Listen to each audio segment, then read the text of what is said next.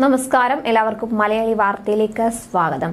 കൊല്ലം ഓയൂരിൽ നിന്ന് ആറു വയസ്സുകാരിയെ തട്ടിക്കൊണ്ടുപോയ കേസിലെ പ്രതികളുമായുള്ള തെളിവെടുപ്പിൽ ഇതുവരെയും കിട്ടാത്ത ചില നിർണായക തെളിവുകളാണ് അന്വേഷണ സംഘത്തിന് കിട്ടിയിരിക്കുന്നത്. ഇന്നലെ പ്രതികളായ പത്മകുമാറിനെയും അനിതകുമാരിയെയും അനുപമയെയും ഇവർ താമസിച്ചിരുന്ന ചാത്തന്നൂരിലെ വീട്ടിലെത്തിച്ചാണ് തെളിവെടുപ്പ് നടത്തിയത്. ഇതിനുശേഷം ഇവർ ഫോൺ ചെയ്ത കടയിലേക്കും അതുപോലെ അതിനുശേഷം കുട്ടിയെ തട്ടിക്കൊണ്ടുപോയ സ്ഥലത്തും എത്തിച്ച് തെളിവെടുപ്പ് നടത്തി.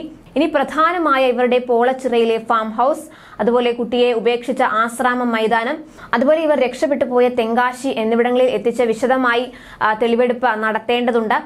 തെങ്കാശിയിൽ പത്മകുമാർ സ്ഥലം പാട്ടത്തിനെടുത്ത കൃഷി ചെയ്യുന്നുണ്ടായിരുന്നു. അതിനാലാകാം രക്ഷപ്പെടാനായി ഇവർ തെങ്കാശിയിലേക്ക് പോയതെന്നാണ് വിലയിരുത്തുന്നത്.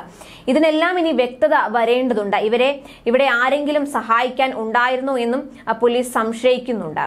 ഇവർ പറയുന്ന ഈ ബോസ് തെങ്കാശിയിലാണോ? ഇവർ രക്ഷപ്പെട്ട് തെങ്കാശിയിലേക്ക് പോയത് ബോസിന്റെ അടുത്തേക്കാണോ എന്നൊക്കെ സംശയമുണ്ട്. എന്നാൽ ഇതിലെല്ലാം വ്യക്തത വരേണ്ടതുണ്ട്. അതുപോലെ പിന്നെ ഒരു സംശയം നിലനിൽക്കുന്നത് ഈ ബോസിന്റെ പേര് ഇവർ കേസിന്റെ അന്വേഷണ ഗതി മാറ്റാനാണോ പറഞ്ഞത് എന്നും സംശയിക്കുന്നുണ്ട്. എന്തായാലും ഇതിലെല്ലാം തെളിവെടുപ്പ് നടത്തുന്നതോടെ വ്യക്തമായ വിവരം ലഭിക്കുന്നതാണ്.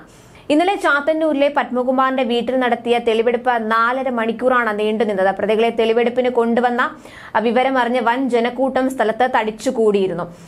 തട്ടിക്കൊണ്ടുപോയ ശേഷം അന്ന് രാത്രി കുട്ടിയെ ഈ വീട്ടിലായിരുന്നു താമസിപ്പിച്ചത്.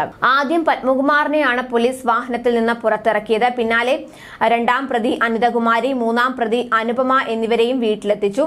ചോദ്യം ചെയ്യലിൽ ലഭിച്ച വിവരങ്ങളുടെ അടിസ്ഥാനത്തിൽ കൂടുതൽ തെളിവുകൾ ശേഖരിക്കുക എന്ന ഉദ്ദേശത്തോടെയാണ് പ്രതികളെ ആ, വീട്ടിലെത്തിച്ചത് ക്രൈംബ്രാഞ്ച് ഉദ്യോഗസ്ഥർക്ക് പുറമെ ഫോറൻസിക് സംഘവും ഇവർക്കൊപ്പം ഉണ്ടായിരുന്നു കാറിൽ നിന്ന് കുട്ടിയുടെ വിരലടയാളം ഉൾപ്പെടെ ശേഖരിച്ചിട്ടുണ്ട്. കുട്ടിയെ തട്ടിക്കൊണ്ടുപോയ ദിവസത്തെ സംഭവങ്ങൾ വീടിനുള്ളിൽ പുനരാവിഷ്കരിച്ചു.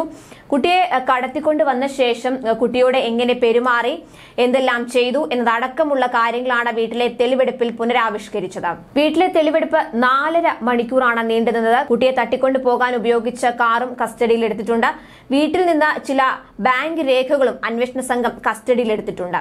തെളിവെടുപ്പിന് ശേഷമായിരുന്നു കിഴക്കേനല കടയിലും കുട്ടിയെ തട്ടിക്കൊണ്ടുപോയ സ്ഥലത്തും തെളിവെടുപ്പ് നടത്തിയത്. രണ്ടാം പ്രതിയായ അനിതാ കുമാരി കടയുടമയുടെ ഫോണിൽ നിന്നാണ് മോചനദ്രവ്യം ആവശ്യപ്പെട്ട് വിളിച്ചത്.